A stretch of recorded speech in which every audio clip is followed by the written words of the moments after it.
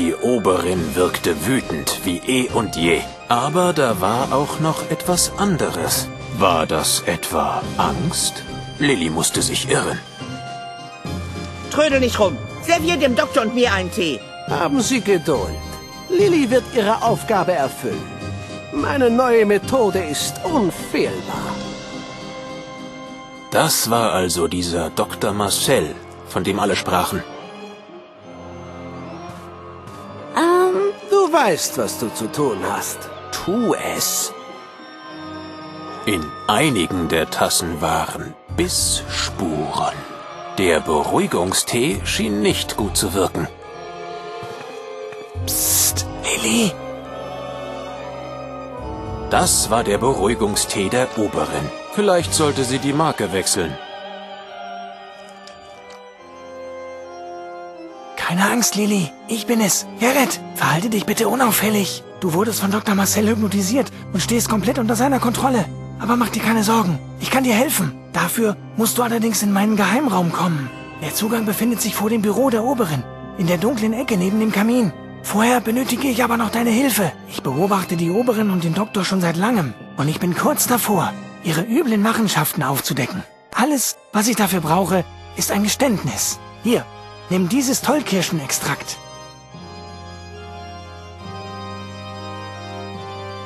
Es handelt sich um ein Wahrheitsserum. Schütte es der Oberin in den Tee. Sobald sie davon trinkt, wird sie all ihre Geheimnisse ausplaudern. Hast du das verstanden? Aha. Exzellent. Lilly, was treibst du denn da? Du sollst uns Tee kochen und nicht irgendwelche Gemälde betrachten. Na, seien Sie doch nicht so streng mit ihr. Lilly wird ihre Aufgabe erfüllen. Aber ich muss gestehen, dass ich ihre Galerie ebenfalls schon bewundert habe. Besonders interessiert mich diese Stickerei dort. Sie fällt ein wenig aus dem Rahmen, finden Sie nicht? Ach, die. Äh, das ist nur eine alte Erinnerung. Kaum der Rede wert. Ich kann mich nicht einmal entsinnen, sie dort aufgehängt zu haben. Kennen Sie nicht? Interessant. Was soll das überhaupt darstellen? Ein achtbeiniges Einhorn? Es ist nur die Stickerei eines dummen, verantwortungslosen Ki Ki Ki Ki Ki Kindes. Nichts weiter. Mhm.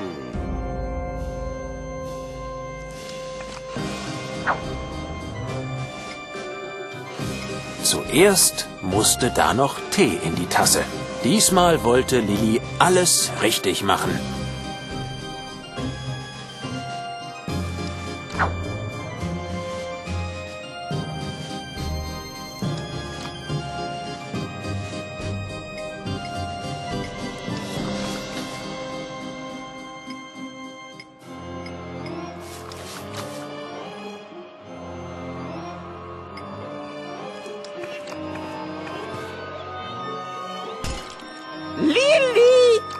Du ungeschickter Nichtsnutz! Willst du mich unbedingt vor dem Doktor blamieren? Das ist merkwürdig. Die Hypnose ist unfehlbar.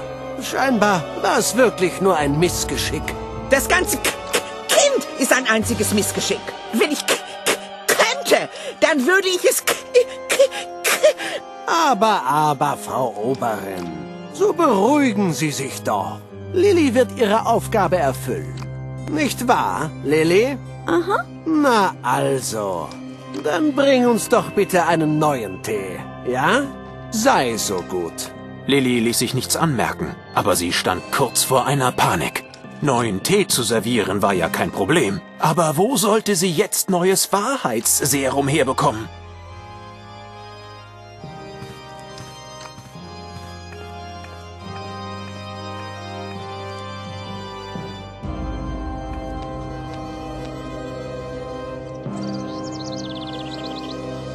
Oberin hatte Lilly verboten, die Tollkirschen zu essen. Von mitnehmen hatte aber niemand etwas gesagt.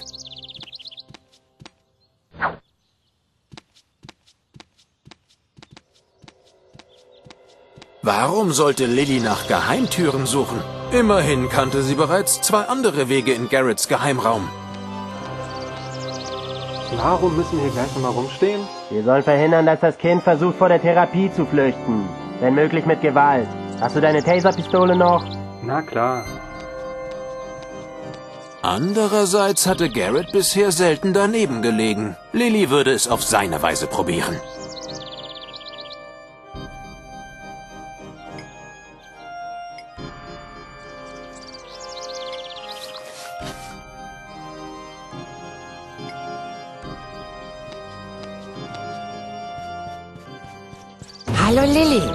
Willst doch nicht etwa mit dem Feuer spielen, oder? Uh Wollte nur sicher gehen. Lilly hängte den Kessel vorsichtig an den Haken und achtete dabei pingelig darauf, nicht das Feuer zu berühren. Lillys Spezialtee war fertig. Sie nannte ihn pure Wahrheit, eine Räubusch-Tollkirschen-Mischung.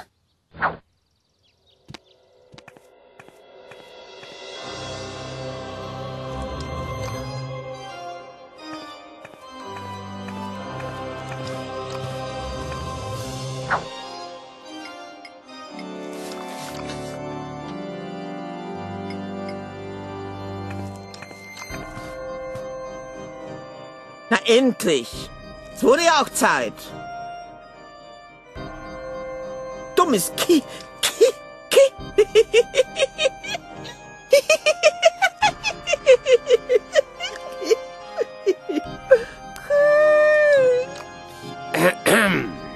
Ist Ihnen nicht gut?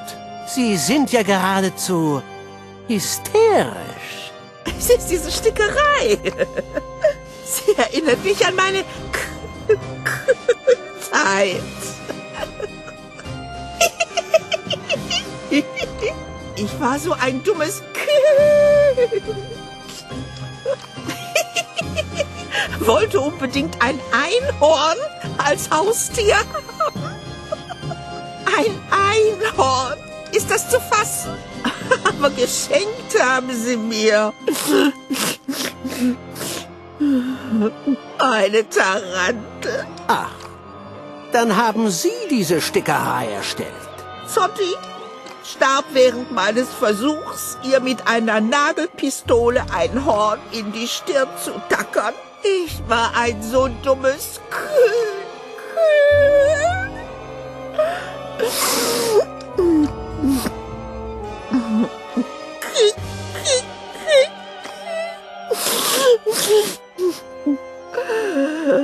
Ich hasse Kinder. Mhm. Verstehe. Die Erwachsenen schienen mit Erwachsenenproblemen beschäftigt zu sein. Dies war Lillys Chance. So gefiel die Oberin Lilly gleich viel besser. Zotti. Oh, Zotti.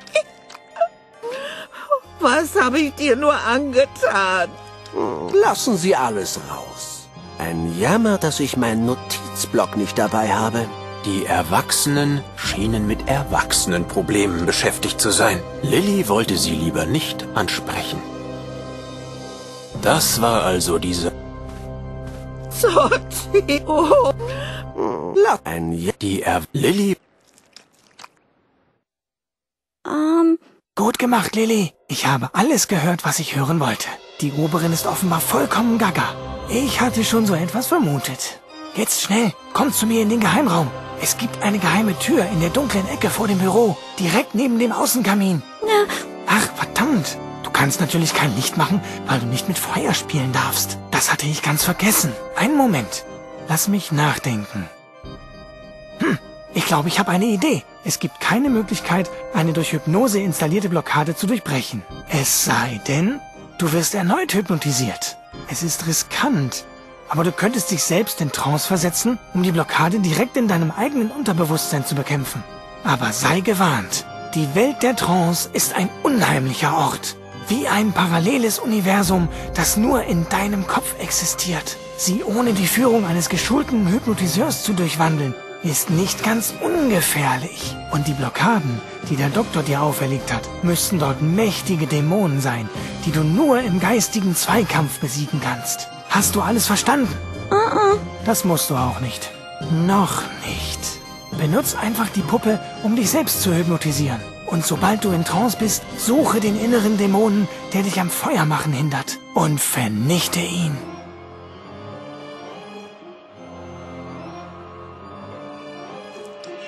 Der lustige Hase mit den leuchtenden Augen saß unbeteiligt auf dem Stuhl.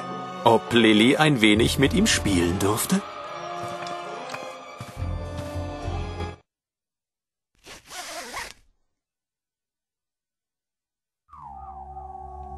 Du sollst nicht mit Feuer spielen. Wookie. Boogie. Wookie.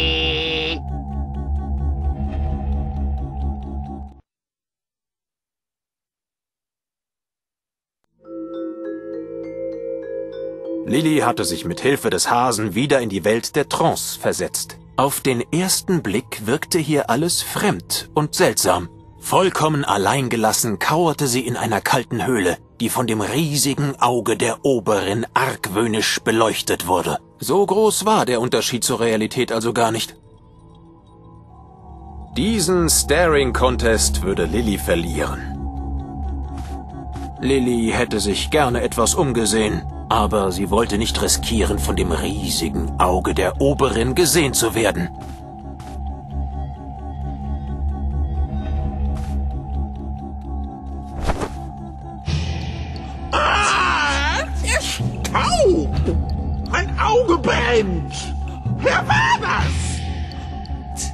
Ein staubiges Fell diente der Höhle als Vorhang. Gab es denn hier keine Kinder, die alles sauber hielten?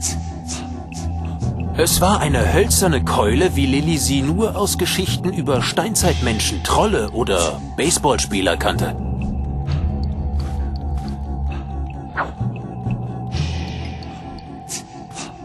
Ah, wie das brennt! Wenn ich denjenigen erwische, der hier mit Dreck um sich wirft, der wird sein blaues Wunder erleben! Die Oberin kniff ihr tränendes Auge zusammen. Lilly war vorerst unbeobachtet.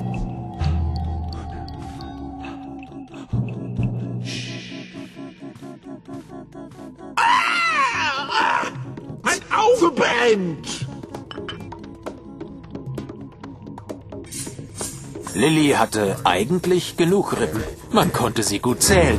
Aber die Oberin hatte es verboten, weil es ihr den Appetit verdarb. Entweder machten hier Knochenjäger Jagd auf große Tiere, oder jemand hatte angefangen, einen prähistorischen Webstuhl zu basteln. Lilly traute ihren Augen kaum. Ein echter Zylinder. Direkt auf dem Kopf des sprechenden Schneemanns. Ein echt Lilly. Ein echter Zylinder. Lilly war platt. Lilly wollte ja nicht pingelig wirken, aber dies war wohl kaum der geeignete Platz für einen Schneemann. Die Feuerstelle ist geschlossen. Artige Kinder spielen nicht mit Feuer. Du bist doch ein artiges Kind, oder? Aha. Na, siehst du. Es gibt keinen Grund für brave Mädchen wie dich mit brennenden Gegenständen zu hantieren. Keinen einzigen. Verstanden? Lilly war nicht überzeugt. Garrett hatte gesagt, sie solle das Feuer benutzen, um Licht zu machen. Das schien ihr schon ein triftiger Grund zu sein. Aber wie sollte sie den Dämonen nur davon überzeugen? Ich bleibe dabei. Es gibt keinen Grund für brave Mädchen wie dich mit brennenden Gegenständen zu hantieren. Hey, Finger weg. Ich brauche den Zylinder. Wenn du ständig mit einer Glatze in der Kälte rumstehen müsstest, würdest du das verstehen.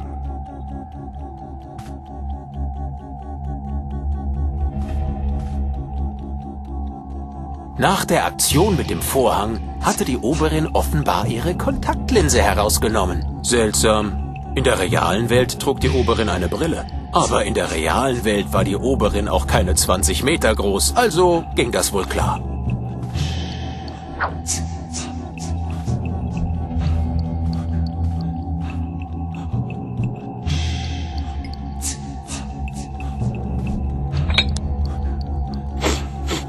Nanu, Was ist das? Was riecht denn hier so komisch? Es riecht nicht nach Karotte. So viel steht fest. Das ist... Das ist... Ähm, Feuer! Ah, ich brenne! Nimm mir den Hut ab! Nimm ihn ab!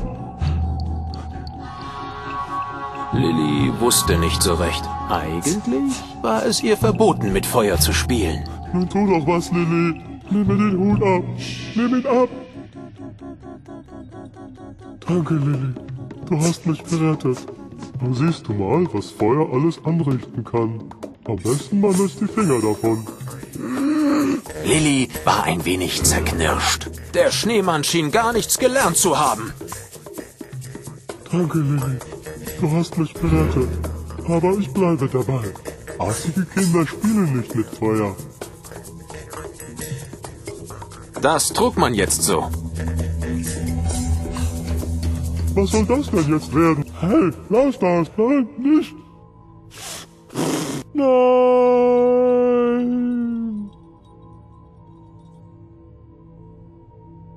Lilly hatte das Feuer entsorgt. Genau wie der Schneemann es ihr aufgetragen hatte. Hoffentlich hatte er jetzt eingesehen, dass es durchaus Situationen gab, in denen man mit Feuer spielen durfte.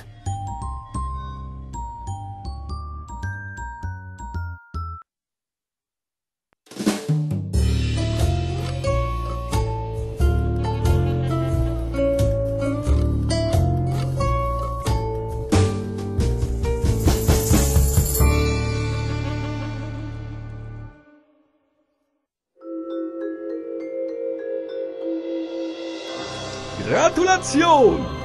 Lilly hat eine neue Fähigkeit erworben. Sie ist nun in der Lage, das Verbot mit Feuerspielen zu umgehen. Dazu muss sie es einfach in ihrem neuen Verbote-Menü mit der linken Maustaste aufheben. Behaltet diese Option im Hinterkopf. Im Laufe des Spiels wird Lilly lernen, noch viele weitere Verbote auf diese Weise zu umgehen es kann aber immer nur ein Verbot zur selben Zeit aufgehoben werden.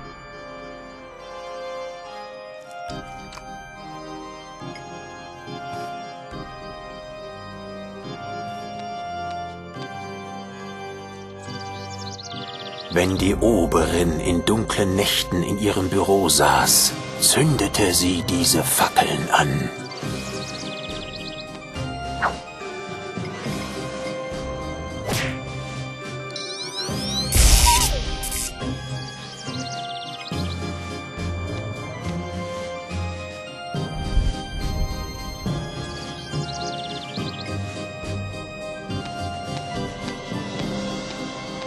Hilfe der Fackel konnte Lilly endlich die geheimnisvolle Halterung inspizieren.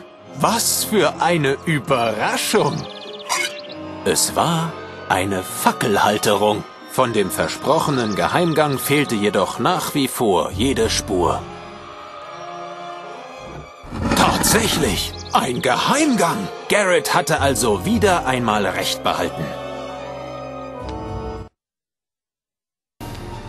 Lilly, Du hast es geschafft. Perfekt. Ich glaube, du bist nun endlich bereit, die Wahrheit zu erfahren. Tja, wo soll ich nur anfangen?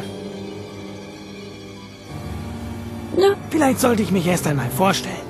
Mein voller Name ist Chief Deputy Garrett Gordon Gardengore. Ich arbeite als verdeckter Ermittler für das Jugenddezernat. Ich wurde undercover in dieses Kloster eingeschleust, um die Oberen zu observieren. Meine Aufgabe ist, Beweise zu finden, dass ihre Erziehungsmethoden gegen das Jugendschutzgesetz verstoßen. Aber der weitaus größere Fisch ist Dr. Marcel. Gegen ihn ist die Oberin die reinste Nonne. Lilly konnte kaum glauben, was sie da hörte. Aber nun ergab alles einen Sinn. Der geheime Raum, die Abhörapparate und die seltsamen Stimmen, die sie nachts immer hörte. All das fügte sich nun zu einem stimmigen Gesamtbild zusammen. Ah, ah, ah. Bevor du mir deine Fragen stellst, lass mich noch kurz eine Sache zu dieser Hypnose loswerden. Diese HW-Hypnose ist eine teuflische Erfindung des Doktors. Er nutzt offenbar diesen Stoffhasen, um dir seinen Willen aufzuzwängen. Wenn wir hier raus wollen, dann musst du dich gegen diese Verhaltensregeln zur Wehr setzen, die er bei dir installiert hat. Ähnlich wie das Verbot mit Feuer zu spielen, kannst du auch die anderen Blockaden umgehen. Dafür musst du dich allerdings wieder in Trance versetzen. Die erste Herausforderung wird sein, das Schulgelände zu verlassen. Es wurde dir von der Oberin verboten. Und aufgrund der Blockade ist es dir nicht möglich, ungehorsam zu sein. Der Trick ist auch hier, das Problem während der Trance zu bekämpfen. Wir sollten das Problem vor Ort angehen. Ne, Lass mich ausreden. Wie gesagt, Dr. Marcel ist der viel größere Fang. Die Polizei ist ihm schon seit längerem auf den Fersen. Er steht unter dem Verdacht, illegale Therapiemethoden einzusetzen, um Kindern ihrer Kindlichkeit zu berauben. Und die Hypnose, die er an dir durchgeführt hat, festigt diesen Verdacht. die, Die Polizei rufen?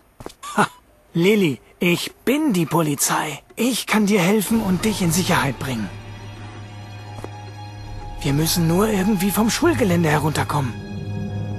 Der beste Weg ist wahrscheinlich, den Spuren deiner Freundin Edna zu folgen. Aber erst einmal wollte ich ja deine Fragen beantworten. Also? Keine Fragen? Enttäuschend. Aber na gut. Auf zum Schaukelbaum!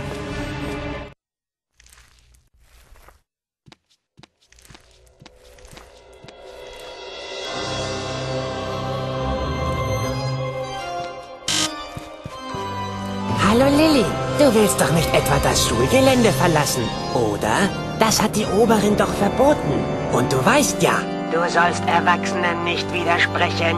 Man kann viel Spaß haben, ohne sich den Regeln der Erwachsenen zu widersetzen. Wir könnten deine Murmeln nach Farben sortieren. Oder uns einen Abzählreim fürs Wäsche zusammenlegen ausdenken. So verlockend sich die Anregungen des lustigen Hasens auch anhörten, Lilly musste durch den Zaun und Edna finden. Da war schon wieder dieser lustige Hase von vorhin. Einerseits freute sich Lilly über die Gesellschaft, andererseits wollte er sie nicht vom Schulgelände lassen. Und Lilly sah gar keine Schnur zum Hypnotisieren. Sie brauchte einen besseren Plan. Du sollst Erwachsenen nicht widersprechen. Ist ja auch gar nicht nötig. Es gibt so viele spaßige Dinge, die erlaubt sind. Zählen oder mit Wollknäueln spielen.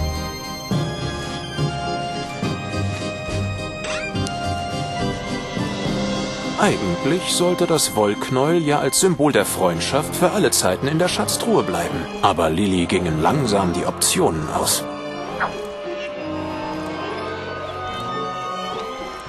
Was hast du da? Darf ich das mal sehen? Aha. Oh, ein Wollknäuel. Yippie. Das ist ja, das ist ja... Boogie. Boogie.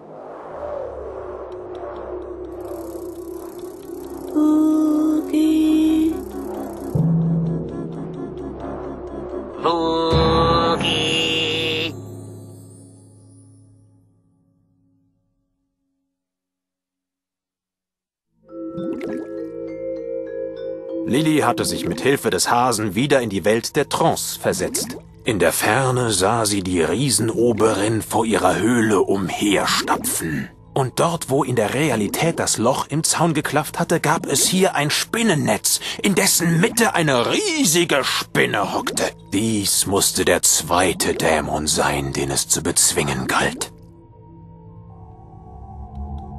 Eine riesige Spinne blockierte den Pass, der vom Berg hinabführte. Ihre Augen funkelten angriffslustig. Ob sie sich wohl streicheln ließ?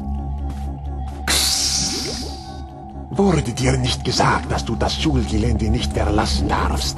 Man darf Erwachsenen nicht widersprechen. Aber weil du ein braves Kind bist, weißt du das ja bereits. Das wusste Lilly in der Tat. Aber Garrett hatte auch gesagt, dass sie hier im Kloster nicht länger sicher war. Die Regeln der Erwachsenen schienen Lilly plötzlich lückenhaft. Wie konnte sie dem Spinnendämon nur beibringen, dass die Oberin auch nicht immer recht hatte? Zwischen all den abgenagten Menschenschädeln lag eine Rippe, die Lilly an das Horn eines Einhorns erinnerte. Lilly war begeistert. Teergrube blubberte einladend. Leider hatte Lilly keine Zeit für ein Bad.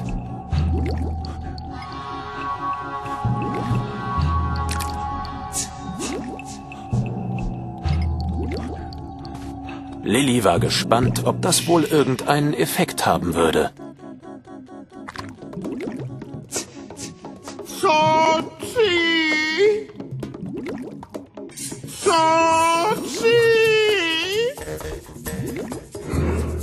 Als Lilly sah, wie die riesige Oberin die Spinne in den Arm nahm, wurde ihr ganz warm ums Herz. Plötzlich wirkte die Oberin gar nicht mehr so groß und erwachsen. Mit einem wohligen Lächeln auf dem Gesicht erwachte sie aus ihrer Trance.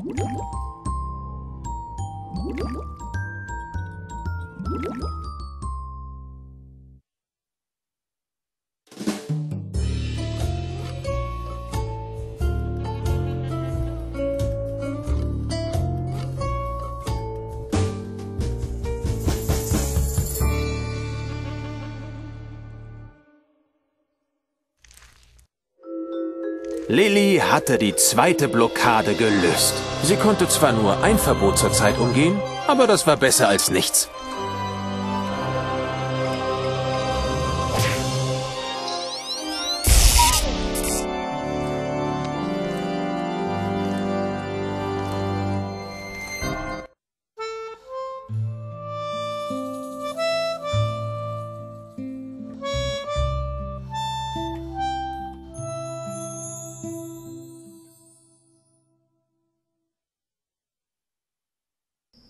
Als Lilly den Klosterberg hinabstieg, hatte die Dämmerung bereits eingesetzt. Du bist spät dran. Wo warst du nur so lange? Ähm. Spar dir das. Es gibt eine Zeit des Redens und eine Zeit des Handelns. Und es gibt diese dritte Zeit. Die Zeit des auf der Polizeiwache hockens und Formulare ausfüllens. Und diese Zeit ist jetzt. Was ist denn jetzt noch? Ach, sag nichts. Du willst deine Freundin, diese Dings, na, diese Edna finden, stimmt's? Aha. Ich dachte mir gleich, dass das Mädchen Überstunden bedeutet. Aber falls sie wirklich noch lebt, gehört das wohl auch zu meinen Pflichten. Wobei ich es für viel wahrscheinlicher halte, dass Dr. Marcel sie bereits gefunden und in einem Gartenhäcksler zu Schweinefutter verarbeitet hat. Wenn dem so ist, dann finde ich das auch raus. Du musst dir also keine Sorgen mehr um deine kleine Freundin machen. Warum muss ich auch immer so verdammt mitfühlend sein? Es ist ein Fluch. Na gut.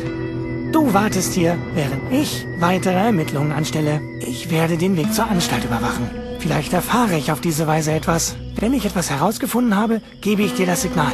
Ich imitiere ein Huhu, Huhu und so weiter. Du wirst das schon mitbekommen. Warte hier auf mich. Es dauert sicher nur wenige Stunden.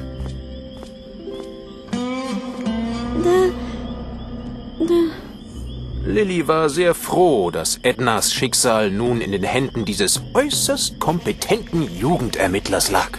Dennoch hätte sie ihn gerne auf die Karte mit dem Weg zu Ednas Versteck hingewiesen. Doch Garrett war bereits verschwunden. Lilly riskierte selbst einen Blick auf die Karte. Sie konnte den Moorsee von hier aus sehen. Ednas Versteck konnte ja nicht weit sein. Du willst doch nicht im Dunkeln ins Moor laufen.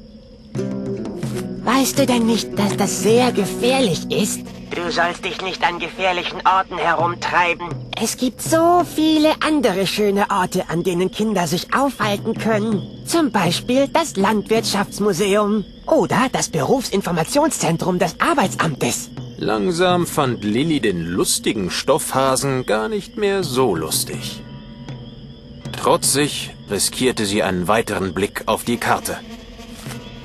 Du sollst dich nicht an gefährlichen Orten herumtreiben. oh, ähm, ich... Äh, das tut mir leid. Ich wollte dich bestimmt nicht erschrecken. Wir sind doch Freunde. Und mit Freunden macht man keine Scherze.